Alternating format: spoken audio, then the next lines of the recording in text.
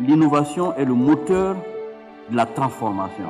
Notre défi aujourd'hui pour la recherche, c'est de montrer, les, résultats et les impacts.